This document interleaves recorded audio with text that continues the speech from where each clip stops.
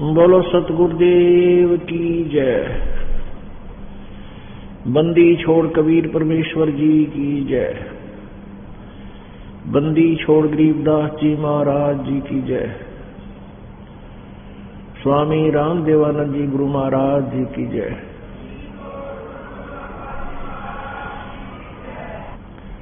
सर्व संतों की जय सर्व भक्तों की जय।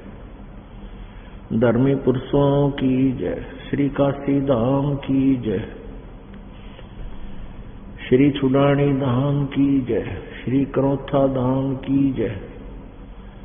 श्री बरवाला धाम की जय। सत साहिब। ग्रीब नमो नमो सतपुरुष को नमस्कार, गुरु की नहीं। सुर नर मुनि जन साधुआ संतों सर्वस्दी नहीं। सतगुरु साहेब संत सब है डंडो तुम प्रणाम। आगे पीछे मध्य हुए तिनको जा कुर्बान। नराकार निर्विषम काल जाल वंजनम निर्लेपम निज निर्गुणम अकल अनोबेशुंधनम सोहम सुरति समाप्तम सकल समान निर्तलय उज्ज्वल हिरंबर हरदमम बेपरवा अथा है। वार पार नहीं मध्यतम ग्रीब जो सुमर सिद्ध होई, गणनायक गलताना। करो अनुग्रह सोई, पारस पद परवाना। आदि गणेश मनाऊ गणनायक देवन देवा। चरण कमल लाऊं आदंत करूँ सेवा। परम शक्ति संगीतम रिदाता सोई। अवगत गुण अतीतम सत्य पुरुष निर्मोही जगदम्बा जगदीशम मंगल रूप मुरारी, तन मन अर्पो शीशम भक्ति मुक्ति भंडारी। सुर नर मुनि जन जावे ब्रह्मा, विष्णु, महेशा, शेष से सुख गावे पूजे आद गणेशा। इंद्र कुबेर सरीखा, वरुण धर्म राजावे समर्थ जीवन जी का मन इच्छा फल पावे। तैतीस कोटि अधारा धावे से, से अठासी। उतरे बहुजल पारा कट है यम की फांसी तैतीस कोटि अधारा। जावे से, से अठासी उतरे भौजल पारा कट है यम की फांसी। कर जोरू विनती करूँ। दरूं चरण पर शीश।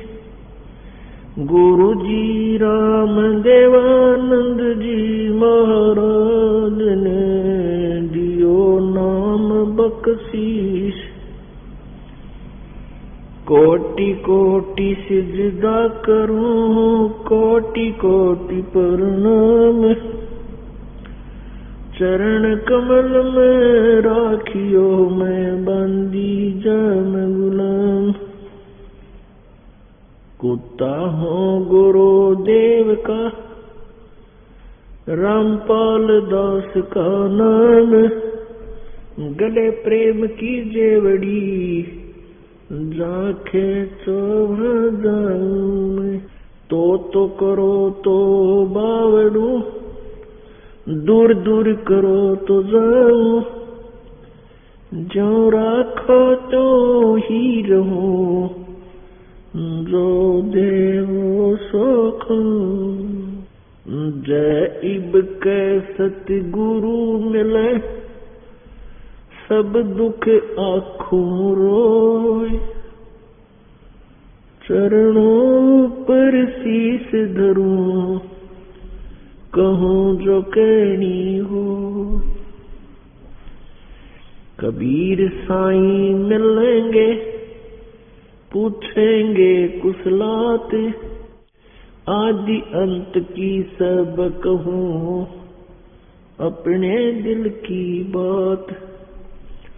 गुरु जी तुम ना भूलियो, चाहे लाख लोग मिल जाही। हमसे तुमको बहुत है।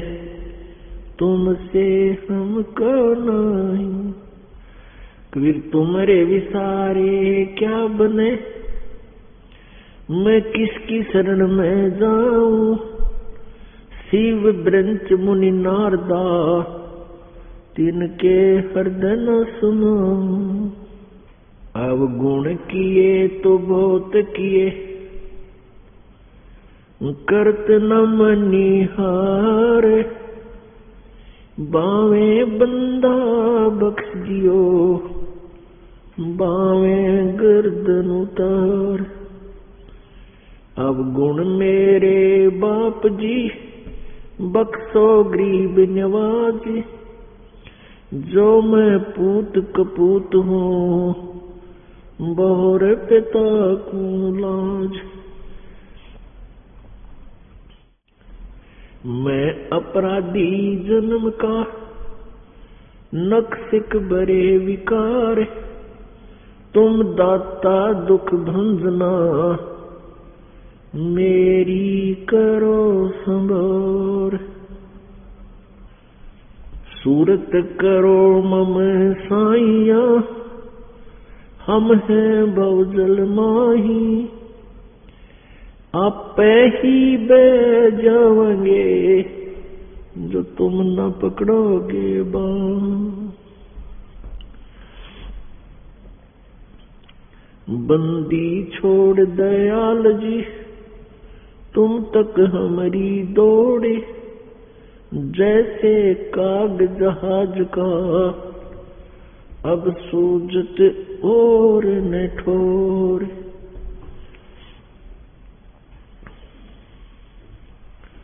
परम पिता, परमात्मा, पूर्ण ब्रह्म, सारी सृष्टि के रचनहार। कुल के स्वामी, कुल के मालिक कबीर देव। कबीर परमेश्वर है।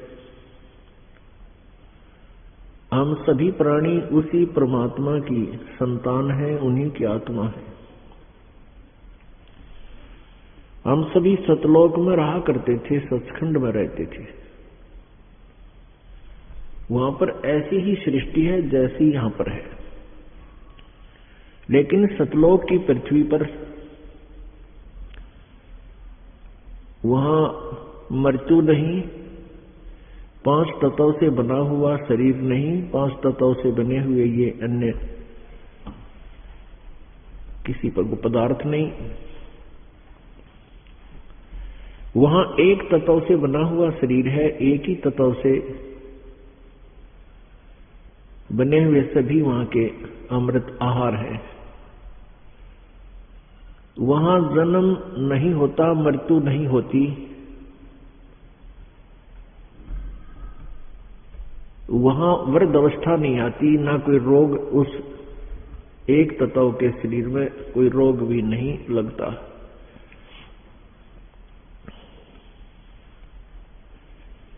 हम सभी वहाँ रहा करते थे।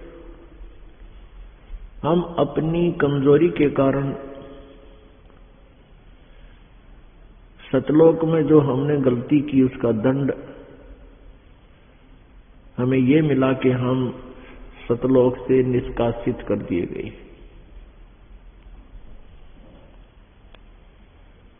और अब हम अपने निज लोक में जाना चाहते हैं क्योंकि हमें पता लग गया कि हम यहाँ एक कैद में बंद हैं।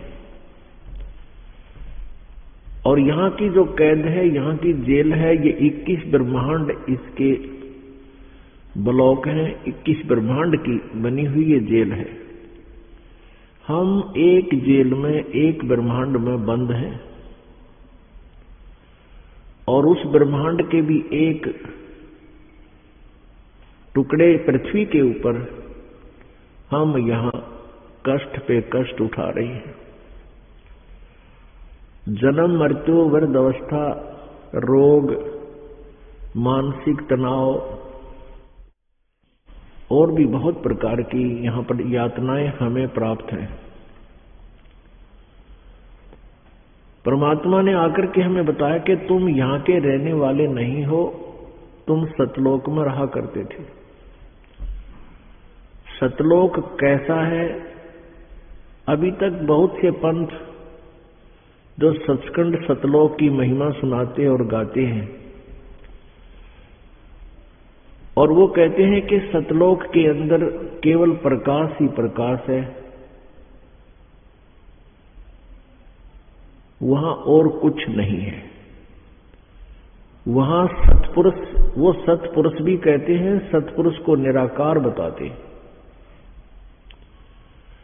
और जीवात्मा जब यहाँ से जाती है तो वहाँ जो मोक्ष प्राप्त कर लेती है, वो सतपुरुष के उस प्रकाश में समा जाती है। जैसे बूंद समुद्र में समा जाती है। तो पुण्यात्माओं, ये सिद्धांत जो उन्होंने बताया, ये बिल्कुल गलत है। एक तरफ़ तो कहते हैं सतपुरुष का वहाँ प्रकाश ही प्रकाश है और उस परमात्मा के नूर में ये आत्माएँ समा जाती है।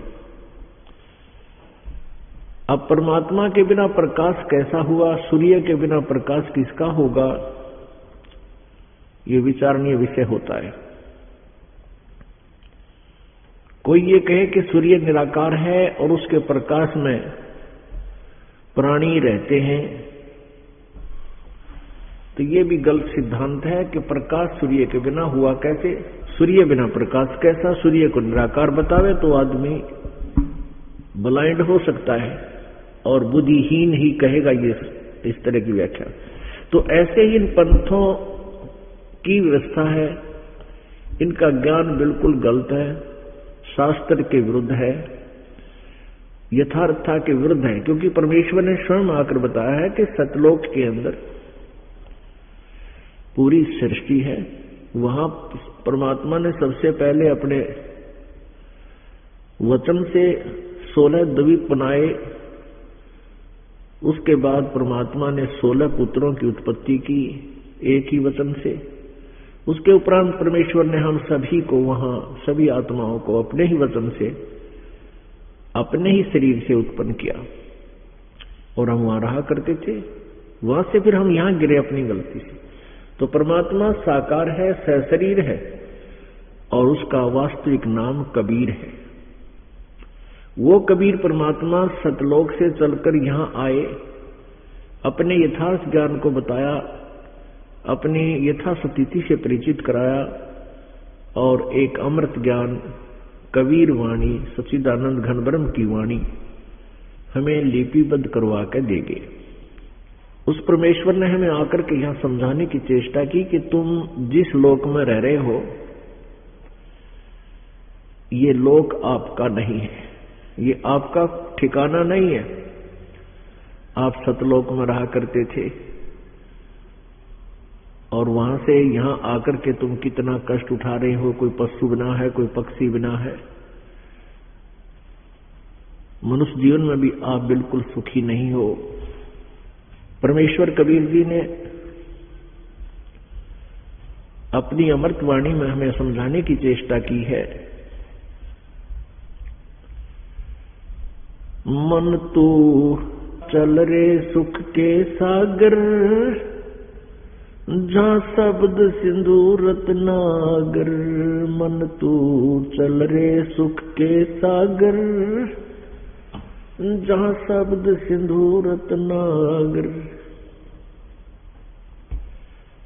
अब सुख के सागर को डिफाइन करते हैं।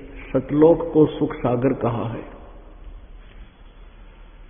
सतलोक का अर्थ होता अविनाशी स्थान, अविनाशी धाम।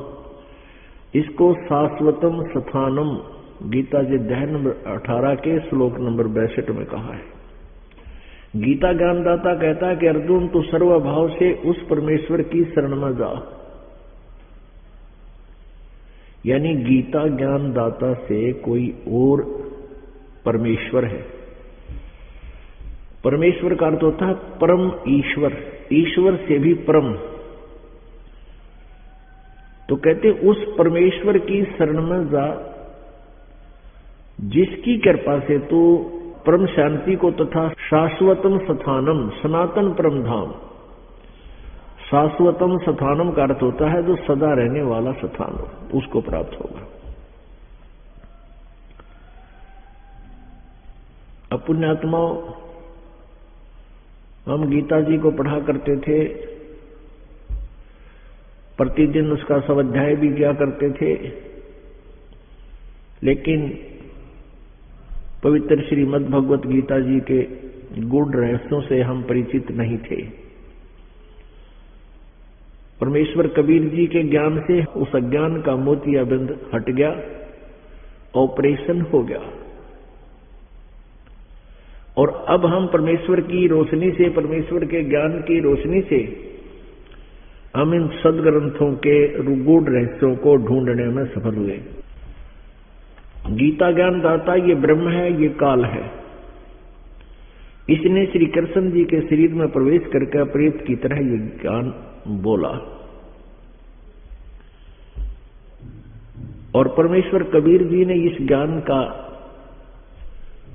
पहले ही जो है अनुवाद सही किया हुआ था, पहले ही बता रखा था, लेकिन हम समझ नहीं सके क्योंकि हमारे पूर्वज जो थे वो अशिक्षित थे, अक्सर ज्ञान नहीं था, और जो संस्कृत भाषा जानने वाले थे वो एक ही वर्ग था, और अन्य को संस्कृत पढ़ने का अधिकार नहीं था। जिस कारण से परमेश्वर ने जो ज्ञान कहा था सौ वर्ष पूर्व, उसको उन अज्ञानी ऋषि, महर्षि और गुरुओं ने हम तक नहीं आने दिया। हमें ये कहकर के मिसगाइड किया, भ्रमित किया कि कबीर अशिक्षित है, कबीर जी को संस्कृत भाषा नहीं आती है। पवित्र वेद और पवित्र गीता, पवित्र अठारह पुराण, ये सभी संस्कृत भाषा में लिपिबद्ध हैं। इसलिए कबीर जी सदग्रंथों को नहीं जानते और हम जो कह रहे हैं, वो नकली गुरु ब्राह्मण कहा करते कि हम जो बता रहे हैं, ये सत्य है। तो उस समय तो उनका दाव लग गया और वो पूरे विश्व को, यानी पूरे मानव समाज को, हिंदू समाज को इन नकली गुरुओं ने भ्रमित कर दिया। आज परमात्मा के द्वारा दिया गया वही ज्ञान सभी सदग्रंथों से मेल खाता है और पवित्र वेद, पवित्र गीता जी, पवित्र पुराण परमात्मा के द्वारा बताए गए उस छह सौ वर्ष पूर्व ज्ञान के समर्थक है। अब इनसे हमें क्या लाभ होगा कि हम परमात्मा को पहचान सकेंगे? हम उस परमात्मा के पाने की विधि का भी निरीक्षण कर सकेंगे और अब हम शिक्षित हैं, सदग्रंथ अनुवादित हैं। अनुवाद भले ही उन्होंने किया है, जो संस्कृत भाषा के जानने वाले हैं, फिर भी गुड रहस्य ऊपर आए हैं। उन्होंने बहुत सी कोशिश की है, अपनी अधूरी सोच से उन सदग्रंथों के अनुवादों में गड़बड़ी करने की। लेकिन परमात्मा के ज्ञान से आज हम उनको, उनके द्वारा किए गए उस अनर्थ को हम अच्छी तरह समझ सकते हैं।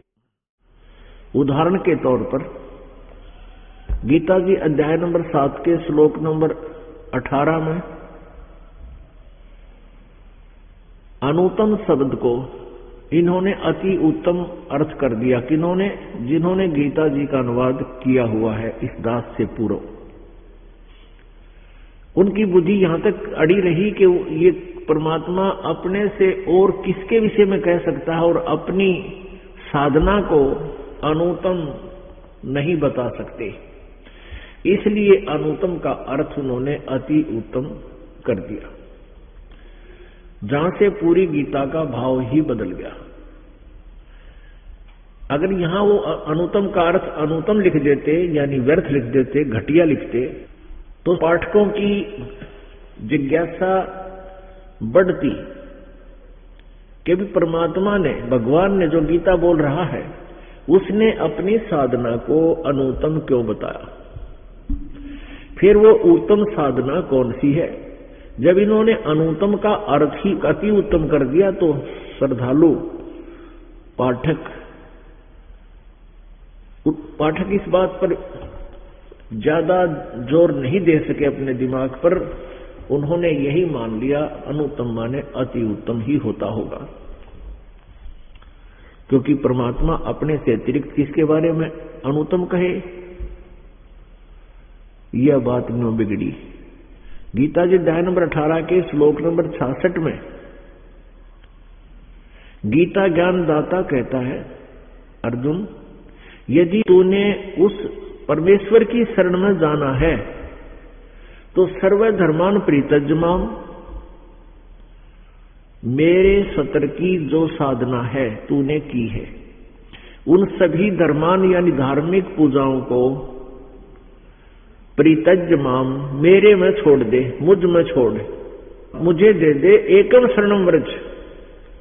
फिर एकम माने जिसके बराबर दूसरा ना हो, अद्वितीय। फिर उस एकम माने अद्वितीय, यानी उस परमेश्वर की शरण में वर्ज माने जा। सर्वधर्मान परितजमान एकम शरणम व्रज।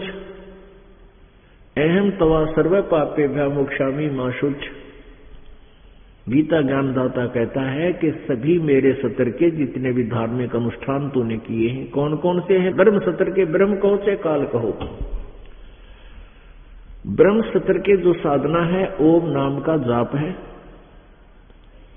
और ये पाँचों यज्ञ हैं। एक यज्ञ धर्म की, दूसरी यज्ञ ध्यान, तीसरी यज्ञ हवन की, चौथी यज्ञ प्रणाम। और पांचवी यज्ञ है ज्ञान। इन पाँचों यज्ञों का जो अनुष्ठान है और साथ में ओम नाम का जाप है, ये ब्रह्म तक की पूजाएँ हैं, धार्मिक साधनाएँ हैं। तो गीता ज्ञानदाता कहता है कि ये जो, जैसे हम तीन नाम का जाप जपते हैं। गीता जी अध्याय नंबर सत्रह के श्लोक नंबर तेईस में कहा कि ओम तत्सत इति निर्देश है ब्रह्मण त्रिविध समर्थ है। ब्रह्मण माने सचिदानंद गण ब्रह्म यानी परम अक्षर ब्रह्म का। ओम तत्सत ये तीन मंत्र का, इस तीन नाम के जाप का निर्देश कहा है। तीन प्रकार से इसकी विधि, तीन प्रकार से इसका जाप है, तीन प्रकार से इसकी साधना की विधि है। और ये है उस परमात्मा के पाने का अनुष्ठान, जप। अब उसमें ओम नाम तो क्लियर है, ये ब्रह्म का जाप है। और तत् और सत्य ये सांकेतिक शब्द हैं। ये तत् जो मंत्र है, ये परब्रह्म का जाप है, अक्षर पुरुष का। और ये गुप्त है, सांकेतिक है, ये दास बताएगा तत्व नहीं तत्व तत्व तो एक संकेत है, उसका कोड वर्ड है। और वास्तविक मंत्र कोई और है। और सत्य ये परम अक्षर ब्रह्म का, जो गीता जी अध्याय नंबर आठ के श्लोक नंबर तीन में, जिसके विषय में कहा है, गीता ज्ञानदाता ने, अर्जुन ने पूछा था आठवें अध्याय के प्रथम मंत्र में कि, अर्जुन, हे भगवान, आपने सातवें अध्याय के उनतीसवें मंत्र में जिस तत्व ब्रह्म के बारे में जानकारी दी है तो वो तत्व ब्रह्म कौन है? क्या है? उसका उत्तर दिया है आठवें अध्याय के तीसरे श्लोक में गीता जी में कि परम अक्षर ब्रह्म है। तो ये सत्य जो मंत्र है, ये परम अक्षर ब्रह्म का है। तो यहाँ गीता ज्ञानदाता अठारहवें अध्याय के छसठवें श्लोक में कहता है कि तूने उसकी शरण में जाना है। तो ओम नाम का जो जाप और पाँचों यज्ञ, ये मुझे, मुझमें छोड़ दे। सर्वधर्मान प्रीतज माम, मेरे सतर की। जितनी भी धार्मिक पूजाएँ हैं, वो मुझमें छोड़ एकम शरणम व्रज। एकम माने जिसके बराबर दूसरा ना हो। अद्वितीय सर्वशक्तिमान। उस एकम, उस सर्वशक्तिमान परमात्मा की शरण में व्रज माने जा। और इन सभी अनुवादकर्ताओं ने, गीता जी का जो अनुवाद इन्होंने किया इस दास से पहले, उन्होंने सबने वर्ज माने आजा कर दिया, आना, जबकि वर्ज का अर्थ जाना होता है।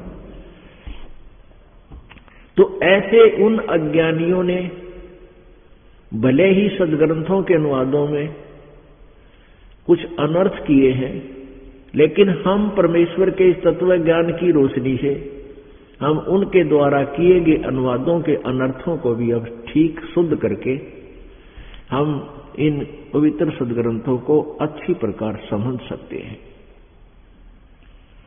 पुणात्माओं ये इतने मज़हब बन गए भिन्न भिन्न प्रकार के पंथ बन गए भिन्न भिन्न प्रकार के ये समुदाय बन गए। ये किस कारण से बने? क्योंकि हम परमात्मा के यथार्थ ज्ञान से परिचित नहीं हुए। और जब तक मानव समाज स्वयं परिचित नहीं होगा, तब तक अज्ञानी संत महंत, ये नकली महर्षि, ऋषि, गुरु, ब्राह्मण, ये हमें भ्रमित करते रहते हैं। जब हमें कंप्लीट नॉलेज हो जाएगा कंप्लीट ज्ञान होगा, पूर्ण ज्ञान होगा इस भगवान के बारे में फिर हम किसी से भ्रमित नहीं होंगे, तभी हमारी भक्ति प्रफुल्लित होगी। अन्यथा, हम ठीक भक्ति करते हुए किसी दूसरे के द्वारा भ्रमित होकर के उस मार्ग को त्याग कर हम कुमार्ग पर चल पड़ते हैं। जैसे मार्ग में रास्ता रास्ता, वे तो हमने जाना चाहिए था अपने मार्ग पर, लेकिन रास्ते में किसी ने बता दिया कि ये रास्ता तुम्हारे घर नहीं जा रहा। ये तुम्हारे नगर का नहीं है, वो तो इधर जाइए। तो उस नालायक ने आप जी को गलत दिशा दे दी। और आप अपने घर ना जाकर के विपरीत दिशा में बहुत दूर चले गए। अब सभी पंथों के जितने भी श्रद्धालु हैं वो परमात्मा पाने के लिए ही वो उन गुरुओं के पास गए हैं। लेकिन वहाँ जाकर के, वहाँ सभी एक ही जैसा विचार रखते हैं तो फिर किसी को कोई शंका नहीं होती। अब वो साधना गलत कर रहे हैं। अर्थात वो परमात्मा के पाने वाले मार्ग पर नहीं चल रहे हैं। उनका मार्ग गलत हो चुका है। उनसे प्रार्थना की जाती है कि आप जी गलत साधना करके अपना जीवन व्यर्थ कर रहे हो। तो वो भोली आत्माएँ क्या कहती हैं कि हमने तीस वर्ष हो गए, ये पूजाएँ करते। अब हम इनको कैसे चागे हमारा तो जीवन ही चला गया। तो उनसे प्रार्थना है कि जैसे आप जी इशार से दिल्ली जाना चाहते हो इशार शहर से दिल्ली जाना चाहते हो, और आपको किसी ने गलत मार्ग दर्शन कर दिया और आप पटियाला पहुँच गए। अब पटियाला से आगे संगरूर पहुँच गए। संगरूर पटियाला इस साइड में पहुँच गए, आप लुधियाना तक पहुँच गए। अब वहाँ कोई आपसे कहे कि भी आप कहा जा रहे हो? आप कहते हो, हम दिल्ली जा रहे हैं। इधर दिल्ली जाने का कौन सा रास्ता? आप तो लुधियाना जा रहे हो, कहाँ से आए हो? किसार से। अब उनसे कोई कहे कि दिल्ली तो बैक जाना पड़ेगा आपको। बहुत गलत आगे, बहुत दूर आ गए अब वो व्यक्ति ये कहे कि हम इतनी सफ़र करके आए हैं 200 किलोमीटर।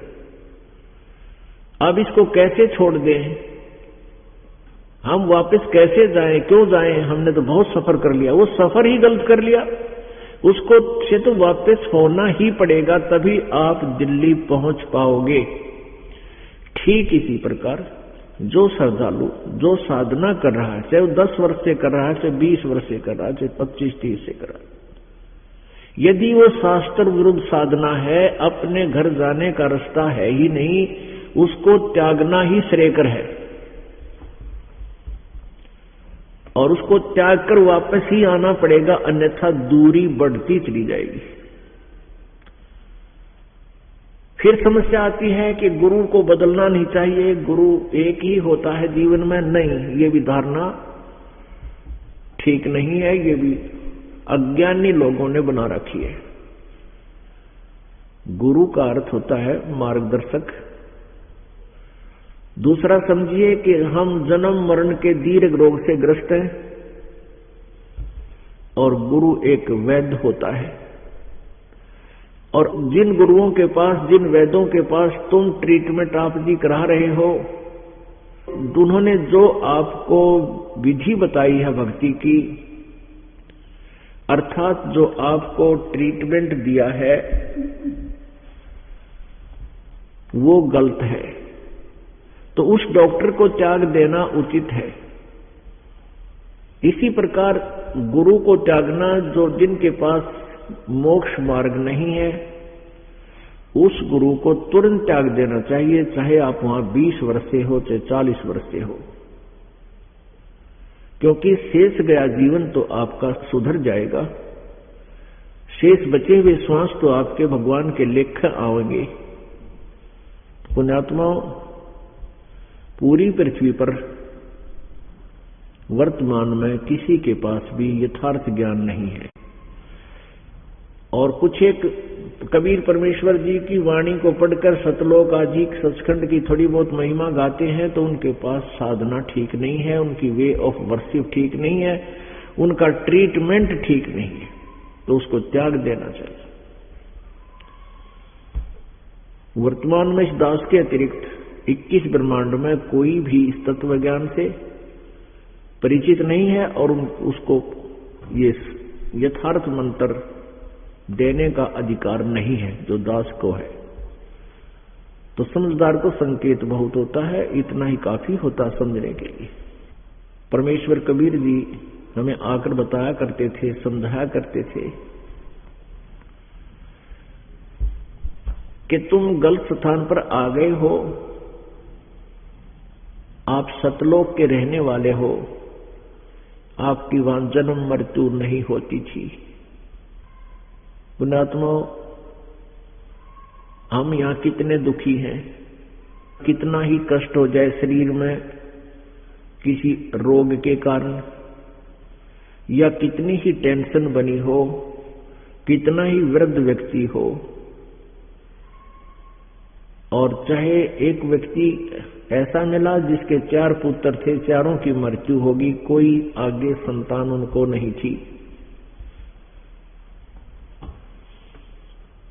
तो ऐसे सभी व्यक्ति कोई भी मृत्यु नहीं चाहता। अब जैसे एक वृद्ध व्यक्ति है चला जाता, ना बैठा जाता आँखों से दिखाई नहीं देता एक को कोड लगा है, किसी की दोनों टांग कटी है, किसी के दोनों हाथ भी कटे हैं।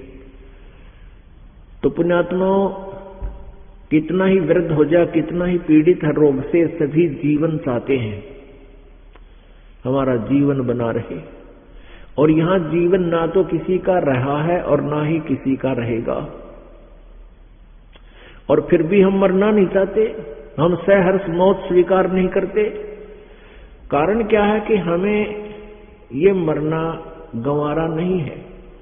अच्छा नहीं लगता, क्योंकि हम ऐसे लोग से आए हैं जहाँ मृत्यु नहीं होती थी।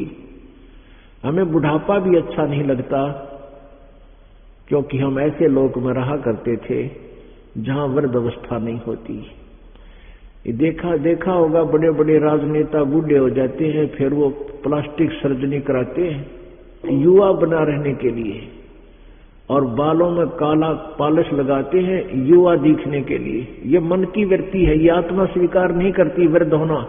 आत्मा स्वीकार नहीं करती मृत्यु होना। क्योंकि ये ऐसे लोक में रहा करते थे जहाँ ना मृत्यु होती थी, ना वृद्ध अवस्था आती थी। पुण्यात्माओं,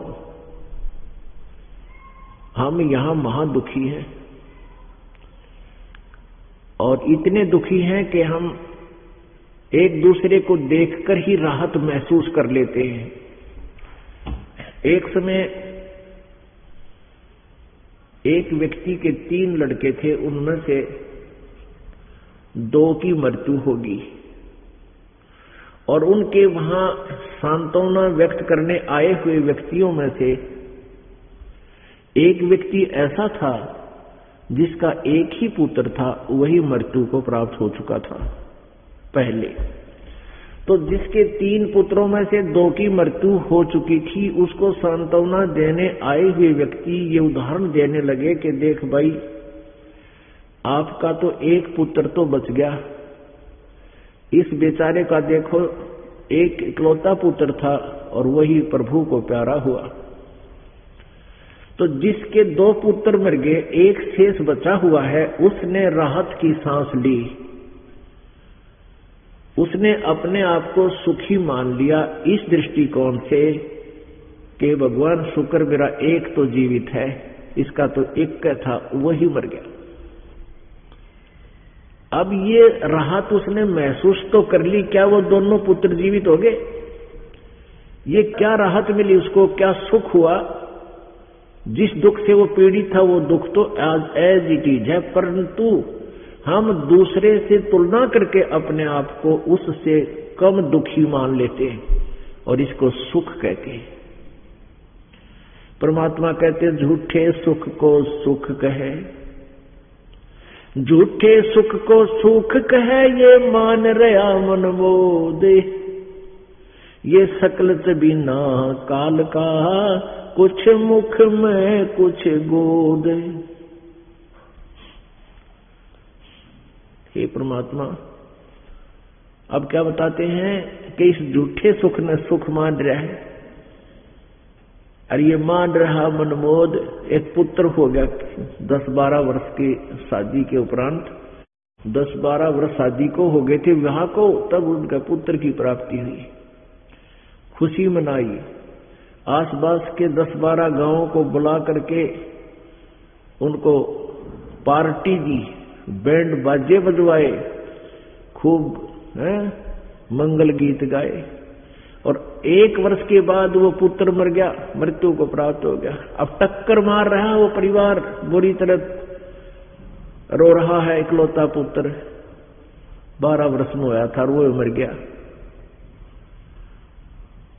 तो पुण्यात्माओं परमात्मा कहते हैं, क्या मांगो कुछ स्थिर ना रहाई? और देखत नैन चला जग जाई।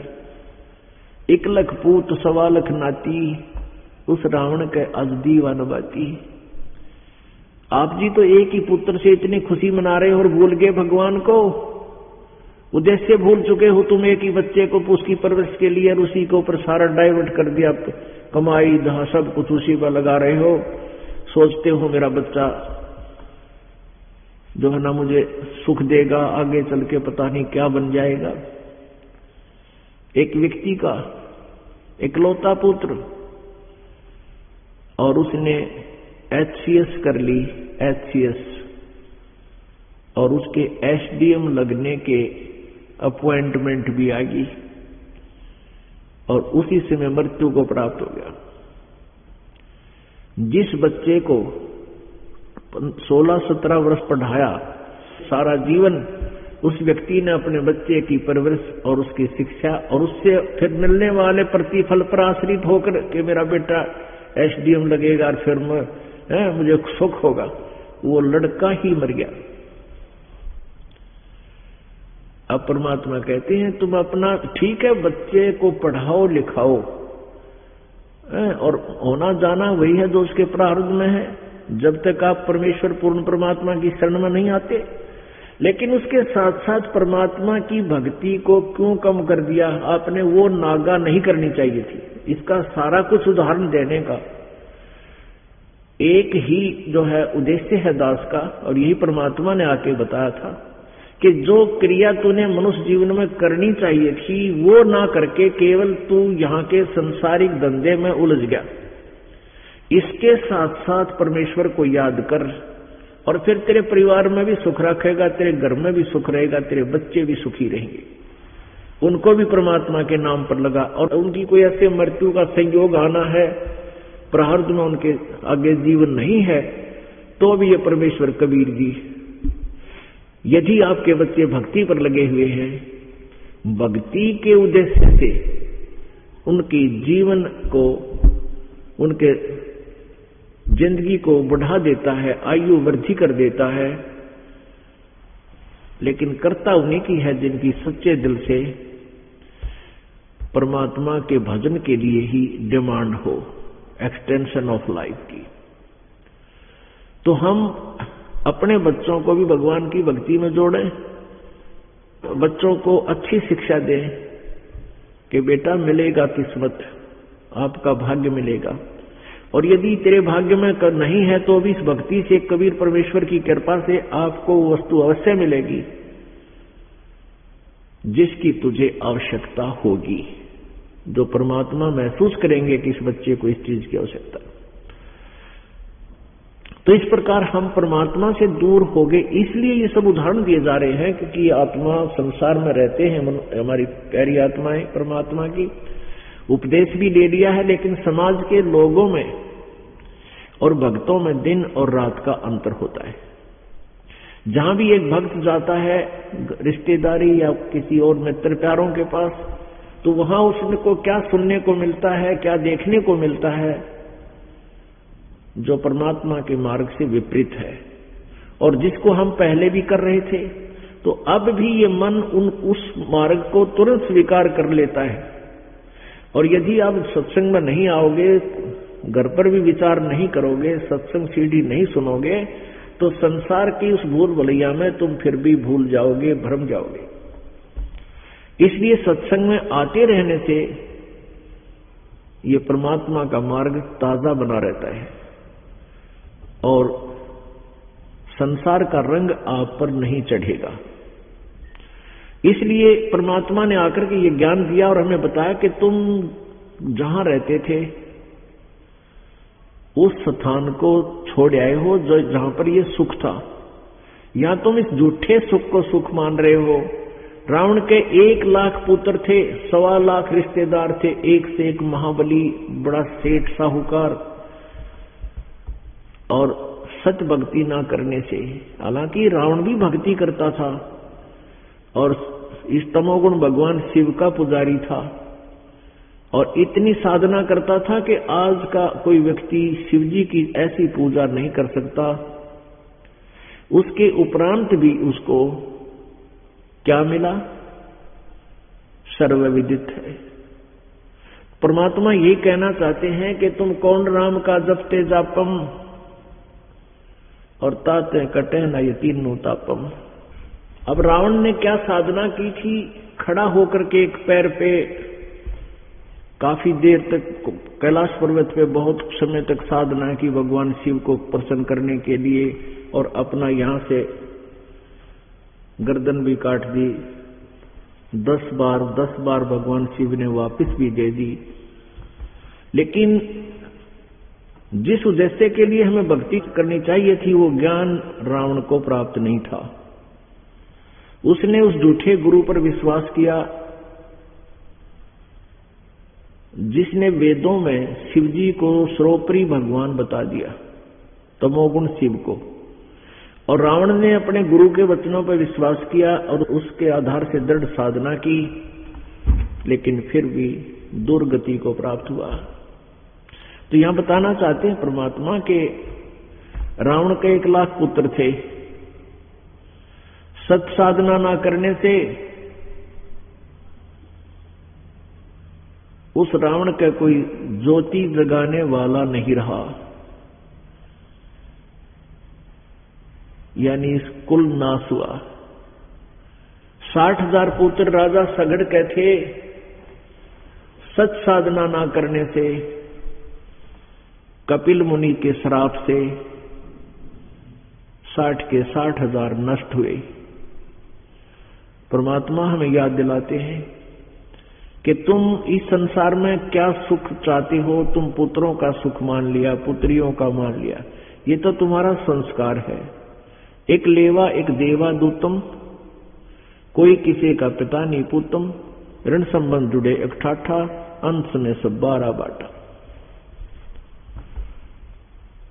इन सब उदाहरणों को देकर के परमात्मा हमें ये याद दिलाना चाहते हैं।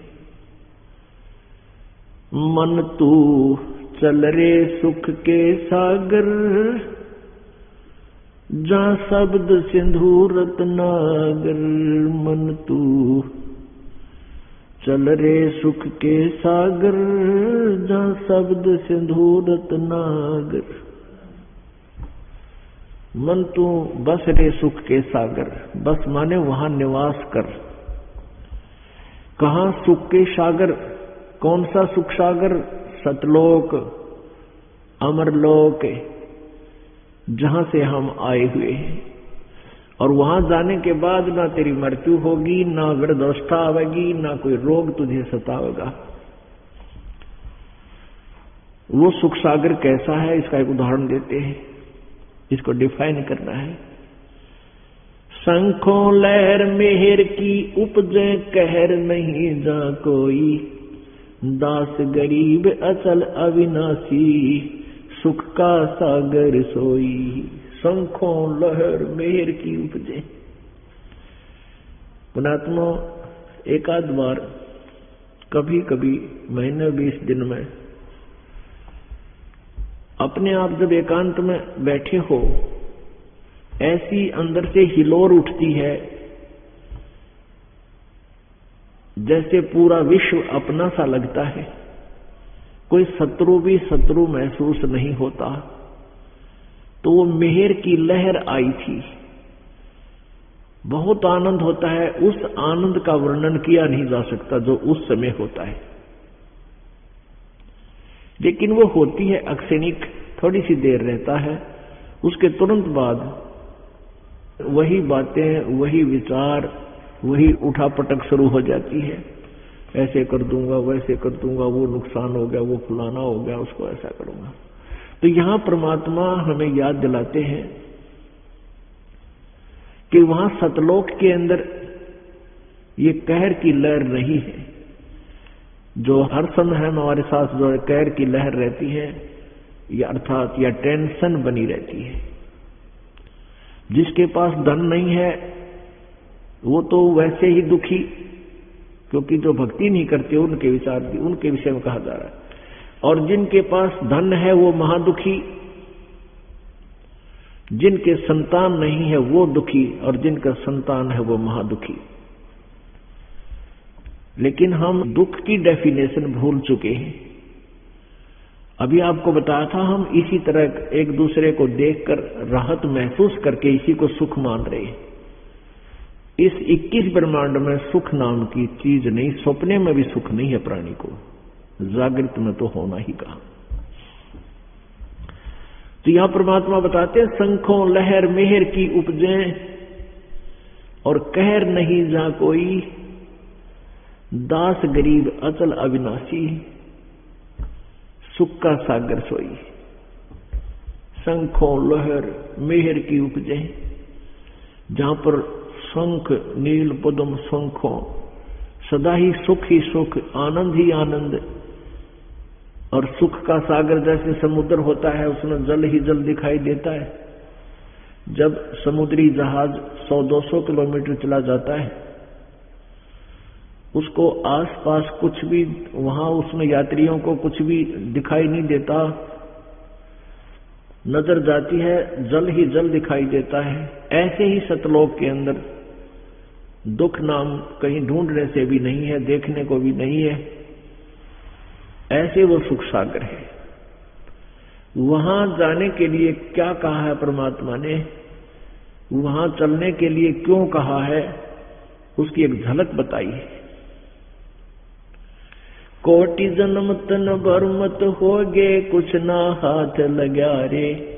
कुकर सुकर खरबया बोरे कौआ हंस बुगारे। कोटि जन्म तू राजा की न्या मिटी न मन की आशा। भिक्षुक हो के दर दर घूम लिया मिला न निर्गुण रासा। इंद्र कुबेर ईस की पदवी ब्रह्मा वर्ण धर्म राया। विष्णुनाथ के पुर को जाके तो फिर भी उल्टा आया। असंग जन्म तन मरचा हो गे जीवित क्यों न मर रे? द्वादश मद महल मठ बोरे, बहुर न देह धर रे। दो जक बैष्ट सभी तय देखे, राजपाट के रसिया। तीन लोक से तरपत नाही, ये मन भोगी खसिया। सतगुरु मिले तो इच्छा मेटे, पद मिल पदे समान। चल हंसा उस लोक पठाऊ, जो आदि अमर स्थान चार मुक्ति झांसम पी करती माया होरी दासी। दास गरीब अभय पद पर से वो मिले राम अविनाशी। पुण्यात्मा ये एक ऐसी वाणी है परमात्मा की महिमा की। यदि आप जी इसको गायत्री मंत्र की तरह, जैसे हमने पहले यजुर्वेद अध्याय नंबर 36 के, मंत्र नंबर तीन को गायत्री मंत्र मानकर उसका रोज पाठ करा करते बार बार पढ़ा करते अर्थ का पता नहीं था ये, क्या है इसका अर्थ? और इन अनाड़ियों ने, अज्ञानी ऋषि मह ऋषियों ने, इस परमात्मा के वचन के आगे ओम अक्षर और जोड़ दिया। वो नहीं लगाना चाहिए था। ओम अक्षर इसके साथ नहीं लगना चाहिए। क्योंकि ये भूर भव सवय तत् सवितुर विरेणियम भर्गो देवस्य धी मही, धियो योन प्रचोदयात। ये जो मंत्र है, ये पूर्ण परमात्मा की महिमा का है, परमेश्वर परम अक्षर ब्रह्म की। और ओ मंत्र है ये ब्रह्म का। ब्रह्म को समझो मुख्यमंत्री, उदाहरणार्थ। और परम अक्षर ब्रह्म को समझो प्रधानमंत्री। अब प्रधानमंत्री की महिमा करते हुए उनको मुख्यमंत्री कहें तो प्रधानमंत्री आपसे खुश नहीं होगा, आपसे नाराज़ होगा, और और भी ये कहेंगे कि ये मूर्ख बुद्धू है, इसको ये ही नहीं पता कि तू प्रधानमंत्री को मुख्यमंत्री बोल रहा है। यानी इस यजुर्वेद अध्याय नंबर 36 के श्लोक नंबर, मंत्र नंबर तीन के साथ ओम नाम का उच्चारण करना, प्रधानमंत्री को मुख्यमंत्री संबोधित करना मात्र है। ये नहीं करना चाहिए। तो इस गायत्री मंत्र को पहले पढ़ा करते थे। गायत्री का अर्थ होता है जो गायन, परमात्मा के विषय में जो गायन है, उसको उसकी महिमा का गुणगान करना गायत्री बोलते हैं। तो उस तरह जैसे हम उसका रट्टा लगाते थे, उससे मोक्ष नहीं था। केवल एक धार्मिक अनुष्ठान धर्म यज्ञ का लाभ मिलता था। तो वो तो है ही भगवान की महिमा का, वो तो मंत्र अलग है, वो तो एक ये जानकारी दे रहा है कि परमात्मा ऐसा है परमात्मा हमें सद्बुद्धि दे भगवान स्वयंभू है, वो तीनों लोकों से पार है।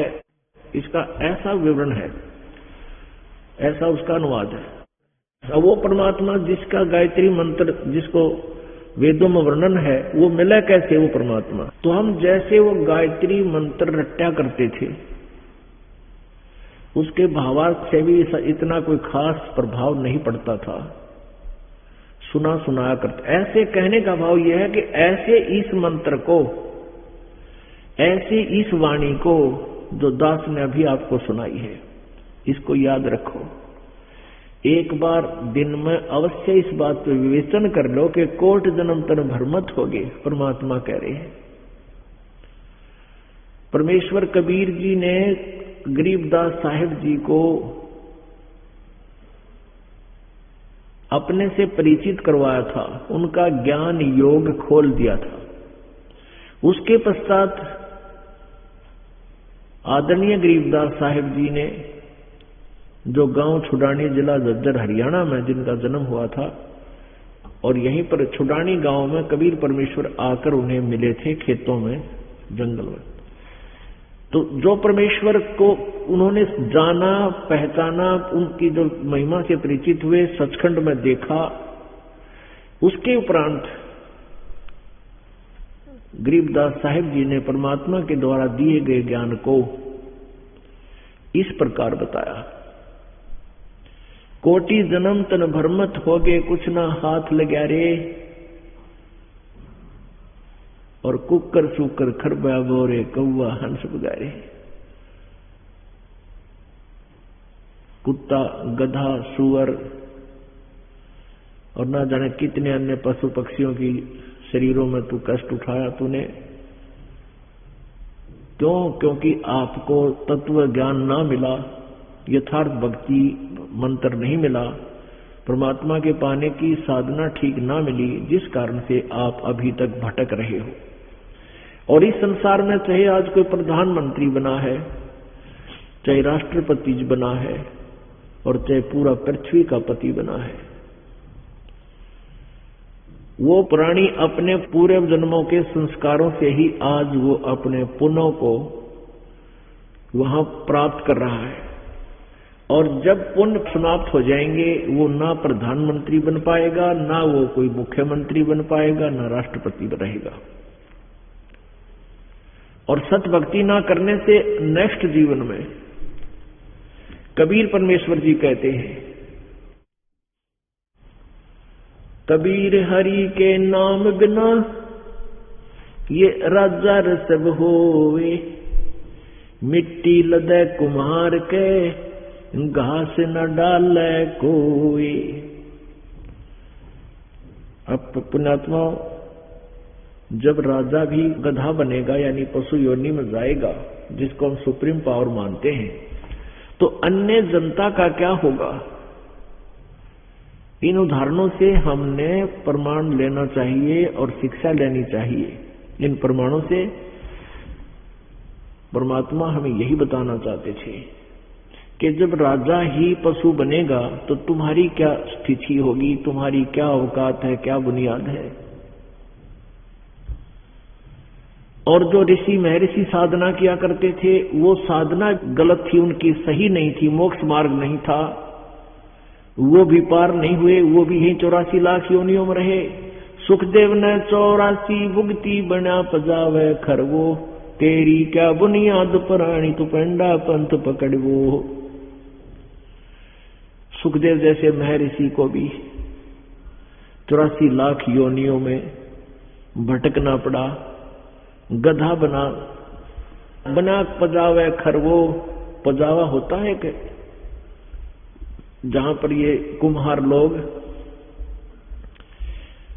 ईंटें पकाते हैं और वहाँ वो ईंटें पकाने में जो ईंधन प्रयोग होता है, उससे जो राख बनती है, उसको कहीं और नहीं उठा कर ले जाता कुमार नेक्स्ट टाइम उसके ऊपर ही और अपना वो पकने के लिए ईंटें वो व्यवस्था करता है। उसको पजावा वो धीरे धीरे बहुत ऊँचा हो जाता है, बीस बीस, तीस तीस, चालीस चालीस फुट ऊँची उसको राख का ढेर बनता चला जाता है।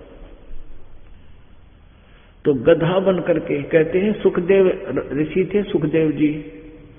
सुखदेव ने चौरासी भुगती, बना पजावे खरवो चौरासी में, चौरासी लाख योनियों में कष्ट उठाया उस महर्षि सुखदेव जी ने। और बना पजावे खर वो खरवा ने गधा, उस पजावे पर खर बना, गधा बना, और वहाँ कष्ट उठाया, इट्टे ढोई। तेरी क्या बुनियाद परानी तो पेंडा पंथ पकड़वो।